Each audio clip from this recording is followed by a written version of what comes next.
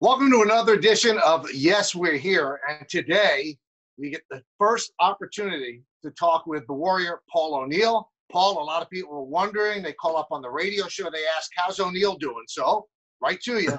How you doing?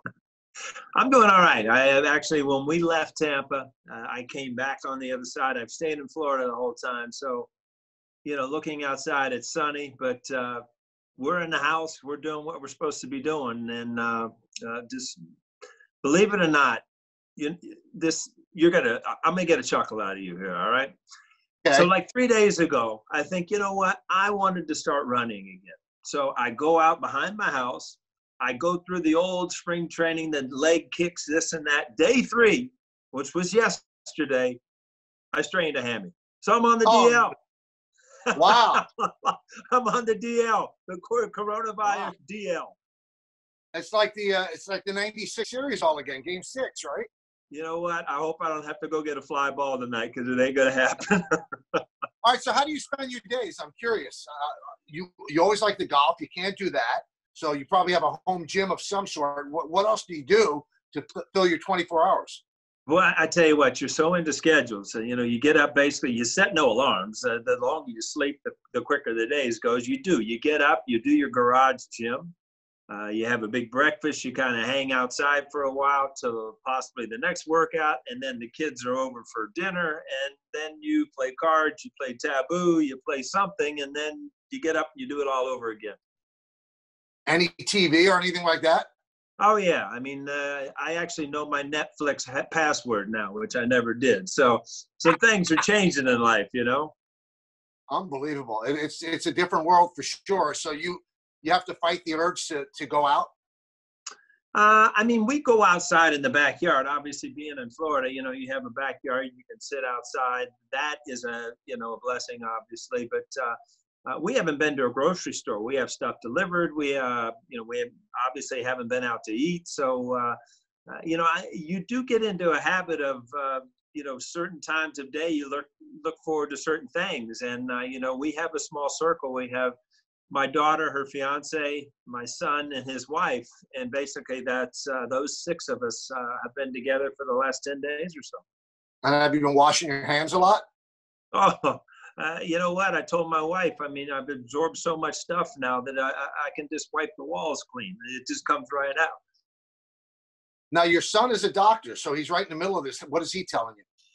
You know what? He has seen some ups and downs. He actually was sent home uh, from one of his rotations in Chapel Hill back to Asheville with his wife, which was a good thing. But uh, you know, again, eh, you want to thank all these people because, you know, he is one of the people that uh, is seeing this at the hospital and, and the people and, and, and just the, uh, you know, just feeling the, you know, the need of people to take care of uh, the people that are sick.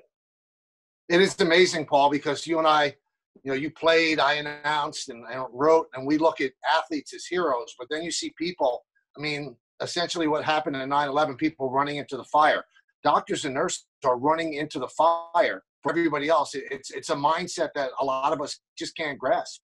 Yeah there i mean there are certain times and you know you brought up 9-11 and, you you see that uh, you know how you remembered you know the police officers and, and the first responders as heroes. And it just seems like in different times of life you know people get to step up and be those heroes. And right now uh, it's de- definitely uh, you know our leaders and and our, our medical field. All right, so let's let's talk some mundane things like sports. You were actually involved in a season in '95 after the lockout, where you guys had to get ready in a hurry. and I think you did it in three weeks. Was that enough? Did you feel that you were ready in three weeks?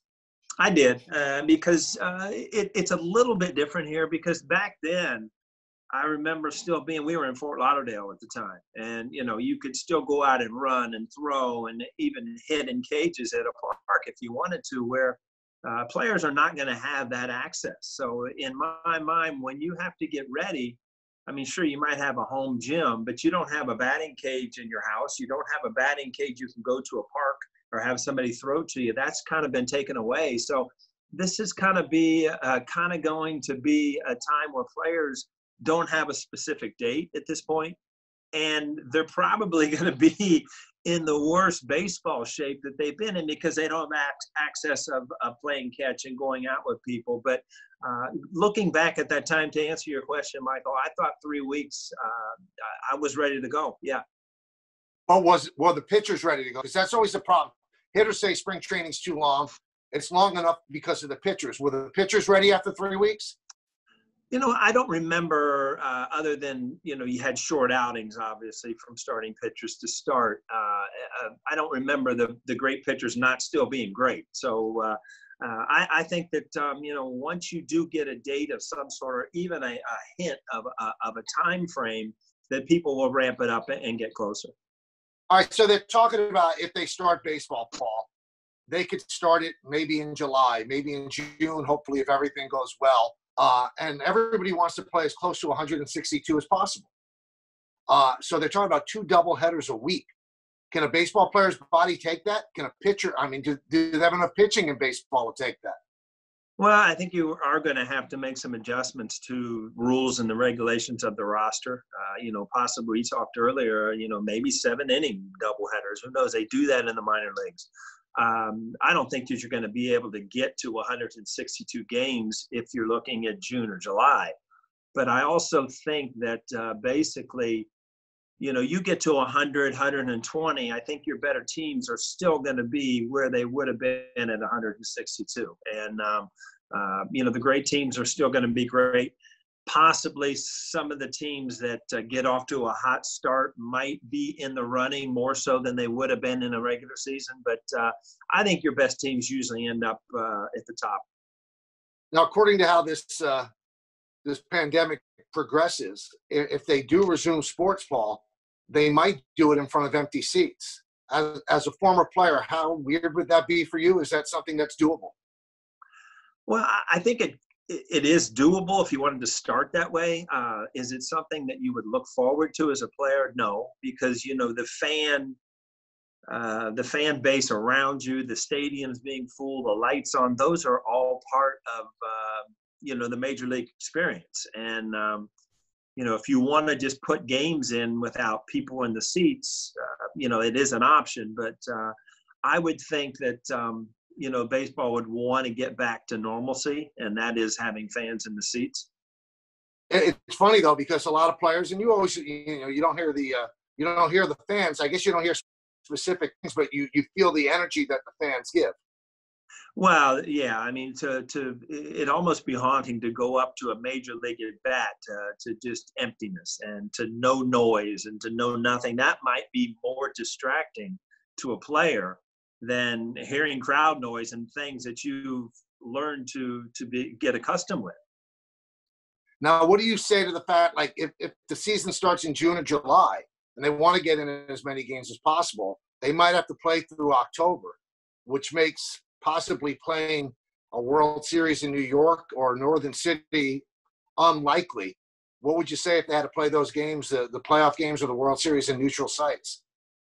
Um, again, is it an option? Sure, it's an option. If it, need be, it has to be that way. Sure, but um, for me to think about playing a World Series game not in your home stadium with your home crowd, uh, that seems to take a lot away from uh, you know the grand, the, the, big time of the season that you play for. Um, but you know what? You, you you take other sports. The Super Bowl is is always at a you know a neutral field, and the excitement is still there. But to me, baseball has been played uh, home and away, and you see the records home and away in big games. Uh, you know, home field is an advantage when you have your crowd there. I'll tell you what, Paul. I was thinking about it. If if games are played without fans, probably the most fortunate team would be the Houston Astros, who are really going to hear it when they played away games. And now all of a sudden, if there's nobody in the stands, it might be an advantage for them because they might not ever really have to quote unquote pay for what they did by listening to the the visiting crowd. Yeah, I mean, you you can look at it that way. Uh, there's no doubt about it. It uh, kind of uh, put an end to this story for now, and, that yeah. was the big story going into spring training. I mean, how were they going to deal with it? And um, you know, I, it wasn't just the fan bases around the country, but the players around the league too, that uh, seemed to lose a lot of respect for a lot of the Houston players. All right, so you said you have a bad hammy. If this was the sixth game of the World Series right now, could you play on this leg? I tell you what, I don't know. After I cr- crawled in from the from the golf course yesterday after my sprint, uh, I thought I, I, actually told my wife, "Thank God I don't have to catch a fly ball tomorrow." So uh, uh, I'd like to have the opportunity to to be in Game Six again because believe me, those are fun. Did it pop, or did it just? I just grabbed. It just uh, you know, don't get old, Michael. It's just the way it is.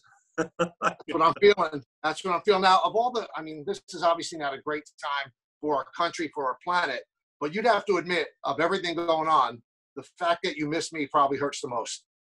Oh, you know what? I just when you popped up on the screen today, I just got goosebumps. It's just like, wow, there he is.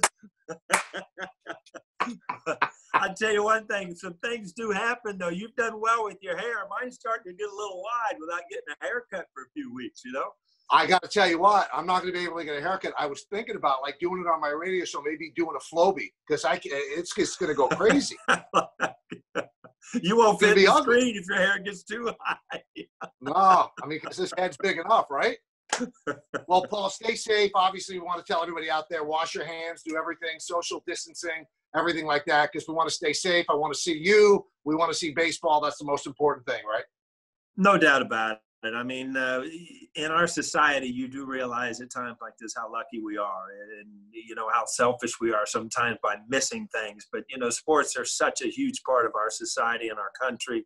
Uh, it's just not baseball; it's basketball, football. It, it's just being able to turn on the television and, and, watch something competitive, and and that's what we are. But uh, right now, there are bigger fishes to fry, obviously, and um, you know, I, can't wait till that day where we can uh, open the door and uh, I can give you a big hug, Michael. How's that? That'd be nice. And the From less than six feet away. Right. do you believe, one final thing, do you believe that once we everybody gets through this, that the handshakes and stuff like that, so that's going to change, that people might not do stuff like that? I even do. on the field? I, I think that there, there'll be a, uh, an after effect to this. I, I mean, you know as well as I do, you go through the uh, you know the stands at times and you know you could shake 20 30 hands and you know if, if you probably could look at your hands at those times you probably wouldn't do it so it doesn't mean we don't like people it just means that you know maybe we've learned something yep tell Nevalee and the kids hello please stay safe and uh, i'll talk to you soon paul i'll tell you michael i saw your play-by-play with charlie hitting a home run and i was going to break down his swing but I didn't know how to do it on the phone. So we'll have to do it during the season. All right. I'll tell you what, though, that's a good Yankee Stadium stroke, left-handed. I didn't know if they were going to lock him up or not. You know, that's the big question. Be good, Paul. Bye, everybody, and we'll talk to you soon. Take care.